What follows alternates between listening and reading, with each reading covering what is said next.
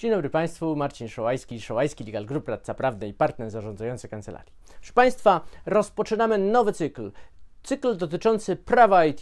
E, proszę Państwa, Szołajski Legal Group od wielu lat pomaga e, zarówno firmom informatycznym, jak i e, firmom, które zatrudniają firmy informatyczne tym, żeby umowy wdrożeniowe, żeby, żeby projekty informatyczne dobrze działały. Dlatego dzisiaj zajmiemy się bardzo ważnym zagadnieniem, mianowicie harmonogramem pracy. Proszę Państwa, dlaczego harmonogram pracy w umowie IT jest tak ważny? Dla nas nasze doświadczenie pokazuje, że e, jest to wręcz kluczowy element umowy wdrożeniowej, dlatego że e, pozwala na to, żeby strony wiedziały, e, na czym stoją i wiedziały, w jakich terminach, w jakich zakresach mogą oczekiwać realizacji umowy.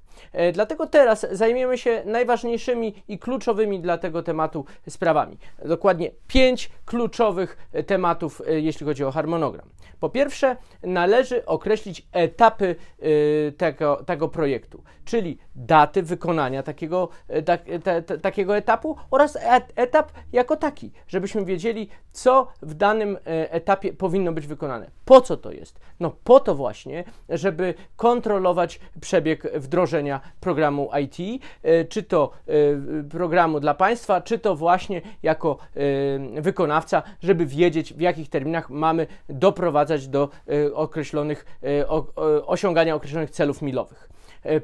Dalej, harmonogram powinien być załącznikiem do umowy. To jest drugi element, który jest kluczowy, jeśli chodzi o harmonogramy. I tutaj e, ze względu na to, że dąży się do tego, żeby ta umowa informatyczna była kompaktowa, żeby była spójna, to można przenieść cały harmonogram z etapami, z datami, ze wszystkimi tymi elementami, o których wcześniej mówiłem, właśnie do załącznika. On może być poza umową, może stanowić załącznik do umowy. E, warto podkreślić, że właśnie w ten sposób możemy do, przenieść e, całe te kwestie e, dotyczące ustalenia terminów czy też zadań właśnie do odrębnego dokumentu, który może być załącznikiem, a załącznik powinien być integralną częścią umowy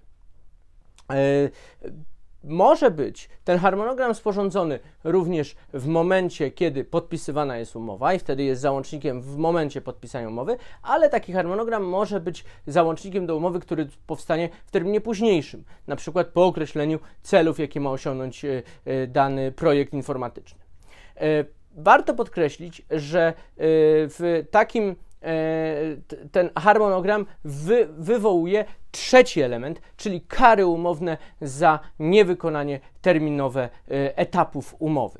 Mianowicie, czyli etapów harmonogramu. Mianowicie w, e, kluczowe w harmonogramie są terminy realizacji etapów, e, które powodują, że należy je egzekwować, czyli e, oczekiwać, że w tym terminie zostaną dowiezione konkretne cele milowe, konkretne elementy danego projektu. I jeżeli nie zostaną, to wtedy można naliczyć kary umowne e, w momencie, kiedy e, taki, e, taki przedsiębiorca jest w zwłoce i można również doprowadzić do wypowiedzenia albo odstąpienia od umowy. Czyli te elementy są kluczowe. To właśnie wykonanie bądź niewykonanie harmonogramu w terminie będzie skutkowało po pierwsze karami umownymi, po drugie prawem do rozwiązania umowy albo wypowiedzenia jej.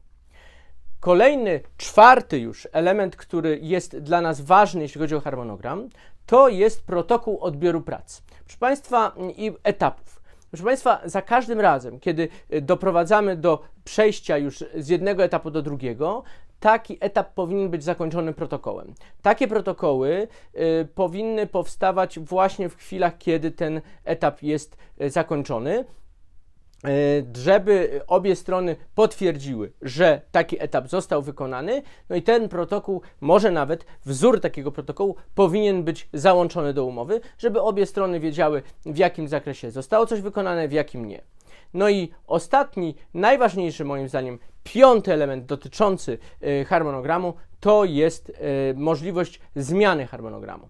I tutaj zasady dotyczące zmiany harmonogramu są dosyć istotne, bowiem ym, powinno zostać określony katalog przesłanek, w których taka zmiana może być wykonana. I tutaj y, warto podkreślić też, że te e, zmiany harmonogramu wiążą się z odrębnym zagadnieniem, o którym na pewno będziemy Państwa w ramach naszego e, projektu Prawo IT informować, a mianowicie zakres umowy.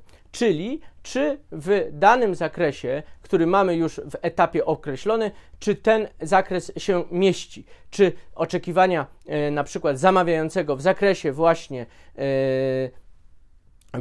tego oprogramowania powinno być już w tym etapie wykonane. I ten zakres jest, e, czy jest w, e, w, zakresie umowy, czy też jest poza zakresem umowy, czy to są prace dodatkowe, czy to są prace e, wynikające z umowy głównej. I tutaj ten, te, ta prawo, prawo do zmiany harmonogramu na podstawie określonych przesłanek musi być również określone w, w umowie. Ten harmonogram może ulegać zmianie, jeżeli obie strony chcą do tego doprowadzić. Podsumowując, proszę Państwa, harmonogram, o którym mówimy w tej chwili w ramach naszego nowego cyklu Prawo IT, e, dotyczy tak naprawdę wykonania umowy. On pozwala na to, żeby osiągając kamienie milowe, etapy, które ustaliliśmy, doprowadzić do finału, doprowadzić do e, skutecznego wdrożenia oprogramowania.